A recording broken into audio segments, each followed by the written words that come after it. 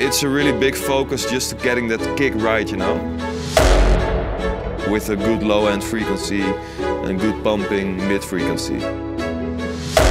Hey guys, this is Frontliner back at the studio from 7, 8, 9, 10. Today I'm going to make a hardstyle kick from scratch.